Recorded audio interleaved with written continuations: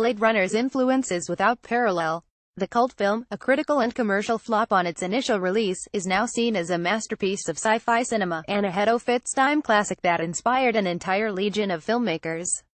But its inspiration isn't limited to the film world novelists have used it as the basis for the cyberpunk subgenre. Vangelis score influenced a host of electronic music producers, and everything from comic books to anime, TV shows to modern technology have paid homage to it. Ryan Gosling says Blade Runner 2049 will have audiences on the edges of their seats, as more footage released perhaps its biggest influence has been on video games.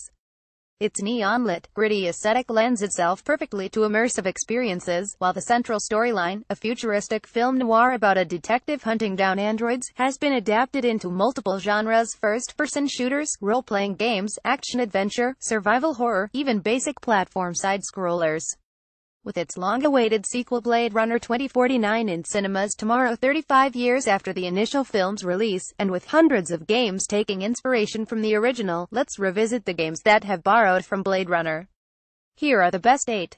Snatcher 1988 Long before Metal Gear developer Hideo Kojima borrowed from Escape from New York, the game developer was clearly inspired by a different pair of cult 80s films. Snatcher is blatant in its influences, with the game's namesake enemies unashamedly taken from the Terminator, while its detective protagonist bears an incredible resemblance to Harrison Ford's Rick Deckard.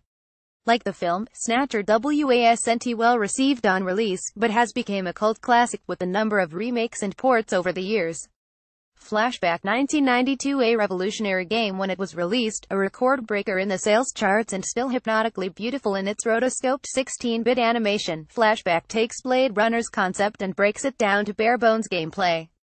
Official trailer for Blade Runner 2049 is out, and it is stunning, showing new characters and similar look to original you journey through futuristic levels with nothing but your gun and your wits, blasting androids and aliens, and are rolling around on screen. Describing its charms isn't easy, but its cinematic qualities still make it appealing. Just don't bother with the 2013 remake. Syndicate 1993 You might have heard of the 2012 reboot, which nonsensically changed the top-down view to first-person, but the 1993 original truly broke fresh ground. Taking Blade Runner's replicant Runimo concept and putting the player in charge of cyber agents given various quests, the expansive cyberpunk world and corrupt aesthetic were heavily influenced by the film. Its inventive mission structure and sheer interactivity made the game feel unlike anything else in the industry. Both official sequel Syndicate Wars and crowd-funded spiritual sequel Satellite Reign are also worth checking out.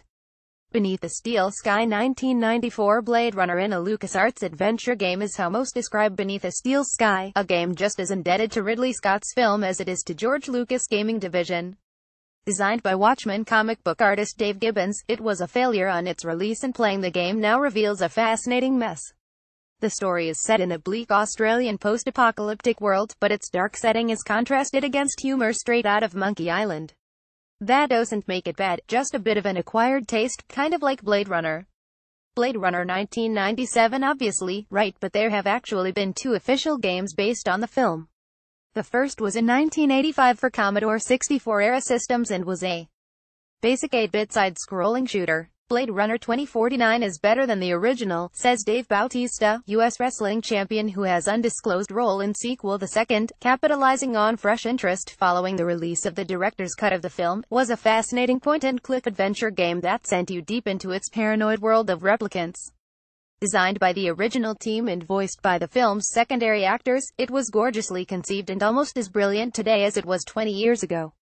Deus Ex Human Revolution 2011 The first few Deus Ex games were good, if not exceptional, standard action and stealth-based RPGs in a standard futuristic world.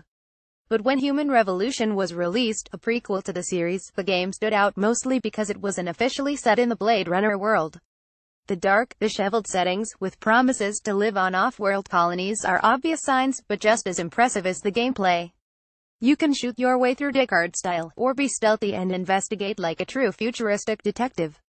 The sequel, Mankind Divided, follows a similar path and is just as good. Shadowrun Hong Kong 2015 This is where things came full circle. Our city's own influence on Blade Runner created its bleak, live Eden aesthetic which in turn led to this game, set in a dystopian version of Hong Kong where the Kowloon walled city still stands. As an RPG, Shadowrun Hong Kong borrows not only from the film, but the entire cyberpunk world it spawned, with hackers, samurais and other geeky cool characters standing alongside the standard set of elves and dwarves. The balance between action and characters is a large part of its appeal, not to mention for local gamers looking for a setting that's close to home.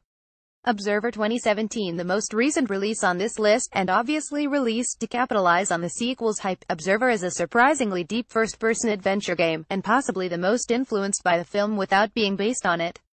Review Blade Runner meets Kowloon Walled City in Observer, a cyberpunk dive into a terrifying world with a lead detective voiced by Blade Runner villain Rutger Hauer, a surprisingly familiar dystopian setting and a number of crackly technologies that delve deep into the mind. This looks and feels like a Blade Runner game.